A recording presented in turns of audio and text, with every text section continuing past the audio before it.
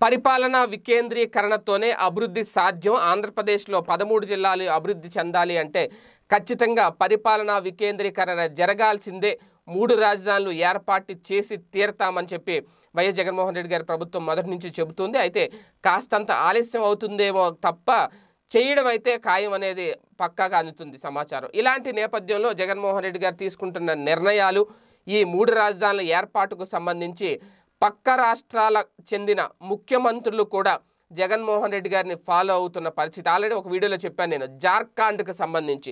తాజాగా జార్ఖండ్లో కూడా నాలుగు రాజధానుల ఏర్పాటుకు సంబంధించి అక్కడ కూడా కీలక నిర్ణయం తీసుకుంటున్నారు. ప్రభుత్వం సన్నాహాలు చేస్తుంది అనేది. ఇదే టైంలో ఇప్పుడు కర్ణాటక ప్రభుత్వం కూడా కర్ణాటక సర్కార్ కూడా జగన్ గారి నిర్ణయాల మీద దృష్టి పెట్టింది. అక్కడ కూడా జగన్ గారు తీసుకున్న విధానాన్ని మెచ్చి అభివృద్ధి వికేంద్రీకరణ వైపు కర్ణాటక ప్రభుత్వం కూడా మొగ్గు చూపడం నిజంగా అది జగన్మోహన్ రెడ్డి గారు తీసుకుంటున్న నిర్ణయాలను ఒకసారి పూర్తిగా పరిశీలించి అది కరెక్ట్ అని అనిపించి వాళ్ళు జగన్మోహన్ రెడ్డి గారి నిర్ణయాన్ని ఫాలో అవుతున్నారు అయితే ఇక్కడ కర్ణాటకలో ఏదో ఒకటి రెండు కాదు ఏకంగా వివిధ శాఖలకు చెందిన పది కమిషనర్ కార్యాలయాలను అలాగే మండళ్ళను బెంగళూరు నుంచి తరలించడానికి కర్ణాటకలో అధికారంలో ఉన్న భారతీయ జనతా పార్టీ ప్రభుత్వం పచ్చ జెండా ఊపింది. అంటే ఉత్తర కర్ణాటకలోని జిల్లాల్లో వాటిని ఏర్పాటు చేయబోతుంది. దీనికోసం ఒక నోటిఫికేషన్ కూడా జారీ చేసింది యడ్యూరప్ప సర్కార్. ఏపీ జార్ఖండ్ సరసన తాజాగా భారతీయ జనతా పార్టీ కూడా చేరడంతో అభివృద్ధి వికేంద్రీకరణ రాజకీయంగా మరింత ప్రాధాన్యత సంతరించుకుంది అని చెప్పాలి. ఎందుకంటే ఇప్పటికే ఉత్తర కర్ణాటక ప్రాంతంలోని బెలగావిలో సువర్ణ విధాన సౌధను నిర్మించింది.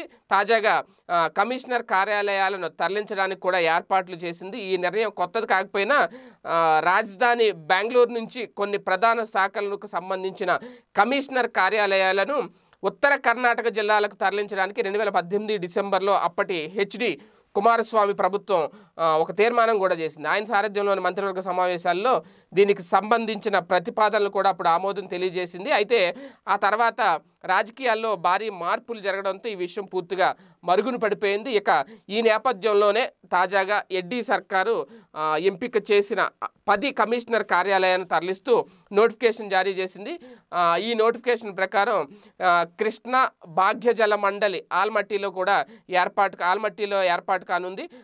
అయితే దావణగిరిలో కర్ణాటక నీరావరి మండలిని నెలకొల్పనున్నారు. జౌలి అభివృద్ధి మండలి చక్కెర అలాగే చెరకు అభివృద్ధి కమిషనర్ కార్యాలయాలను బెలగావికి తరలించనున్నారు.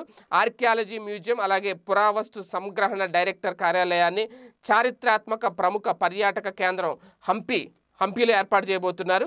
కర్ణాటక పట్టణ మంచినీటి సరఫరా అలాగే మురుగునీటి పారుదల మండలిని కూడా హుబ్లీకి తరలించే తరలించే అవకాశాలు ఉంది అని చాలా క్లియర్గా అర్థమవుతుంది. ఈ మండలిని రెండుగా విభజించి ప్రభుత్వం అలాగే ఉత్తర కర్ణాటక దక్షిణ కర్ణాటకల కోసం ప్రత్యేక మండలిని కూడా ప్రభుత్వం ఏర్పాటు చేయబోతోంది.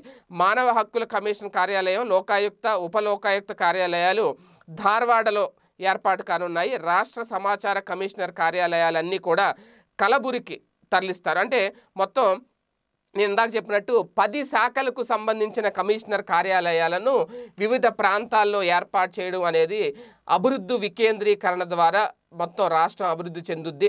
జగన్మోహన్ రెడ్డి గారు తీసుకున్న నిర్ణయం చాలా అద్భుతంగా ఉందని చెప్పి పక్క రాష్ట్రాలు కూడా ఫాలో అవుతున్నాయి అంటే ఇంతకు మించిన గ్రేట్ న్యూస్ ఏముంటుంది? ఒకసారి ఆలోచించండి. ఈ వీడియో గనుక మీకు నచ్చినట్లయితే లైక్ చేయండి షేర్ చేయండి.